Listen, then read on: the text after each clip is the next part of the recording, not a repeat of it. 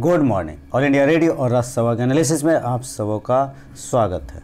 अगर All India Radio के अंदर न्यूज़ की बात करें तो दो दिन पहले बात की गई थी स्वामित्व योजना को। मैंने सोचा था बाद में उसको डिस्कस करेंगे और दब, देश देशांतर के अंदर स्वामित्व योजना के बारे में बात आई है डिस्कस करेंगे। और कल तो कुछ खास था नहीं। द बिग पिक्चर के अंदर एक आर्टिकल आया है वो भी अच्छा है। How COVID nineteen will reset trade and commerce ये डिस्कस करेंगे। तो चलिए डिस्कशन स्टार्ट करते हैं। पहली न्यूज़ जो है हमारे पास, स्वामित्व योजना। पंचायती राज दिवस के अवसर पर स्वामित्व योजना शुरू की गई। ये स्वामित्व योजना है क्या?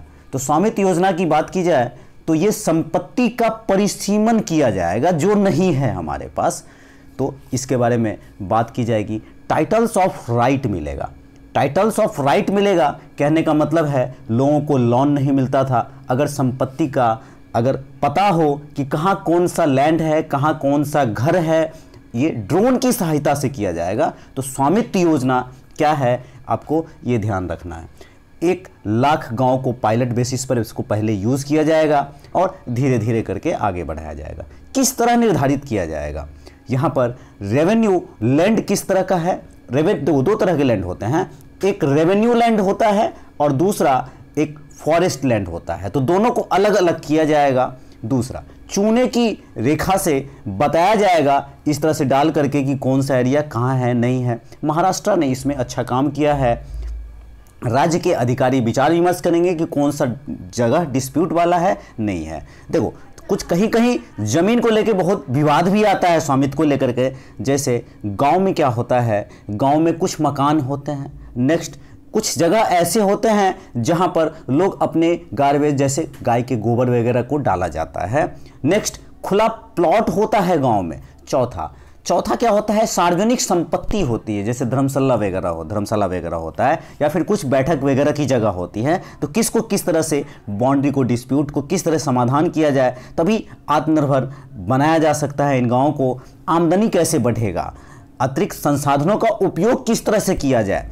एक बात और ध्यान रखना कि ये जो ई ग्राम योजना है, इसको इससे मत जोड़ देना। ई ग्राम योजना अलग है। पंचायतों को जो आमदनी अलग अलग स्रोतों से आती है, ध्यान देना सब पे, पंचायतों को जो आमदनी अलग अलग स्रोतों से आती है, उसका लेखा जोखा क्रियान्वित कर, किया जाता है ई ग्राम योजना से।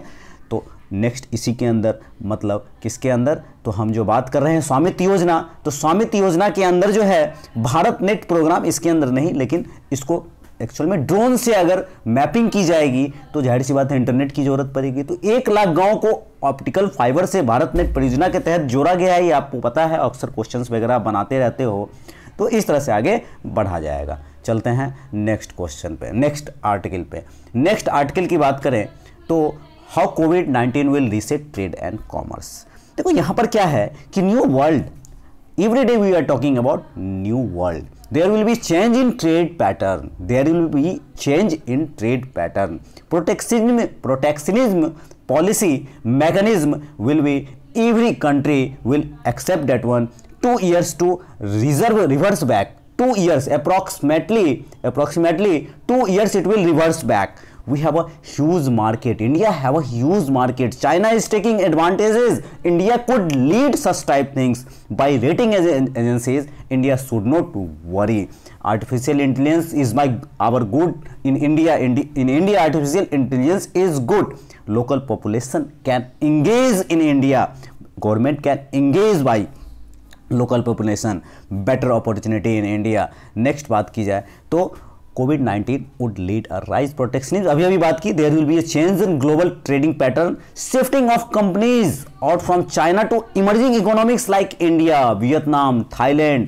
it will happened it will happen not it is going on a slump in global oil prices we are we, we all are saying every day countries would be cautious to put their investment out, outside their borders as the result of these factors, countries would try to keep the major supply chain with its contour. This would this would eventually lead to an increase in trade within the countries. Within the countries, it will increase within the countries trade. मतलब एक एक, एक दूसरे के अंदर ही trade को आगे बढ़ाया जाएगा नेक्स्ट बात की जाए तो impact of slow down on Indian industry क्या होगा there will be there will be there will be greater impact on different industries industries में airlines travel tourism entertainment logistic automobile export retail banking financial service every every sector will be problem सब जगह प्रभावित होगा। Production and manufacturing capabilities will be impacted due to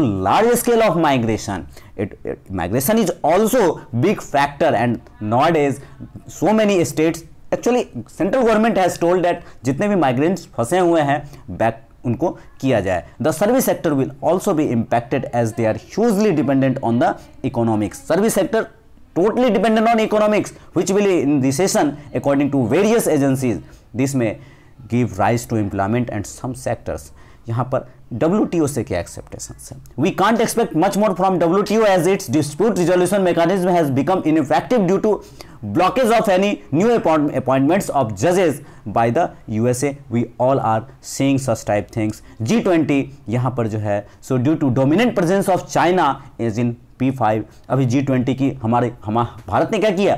पहले SAARC के साथ video conferencing meeting की, उसके बाद जी ट्वेंटी के साथ, और अभी दो तीन दिन पहले आपने सुना होगा, कल परसों, ब्रिक्स के साथ भी। तो इफ़ेक्टिव सैनरियो ये आप कह सकते हो। What India must do in this scenario and what is the best way forward the government should relook into its policies make the economy revive and growing. Create a better environment for global companies coming to india. Create an environment make create an environment एक environment बनाना होगा MNCs company के लिए availability of cap availability of capital like land simplify the tax structure we have clear cut policies एक FDI FIS किस तरह से आए? हालाँकि भारत ने कर भी किया है एफडीआई पे।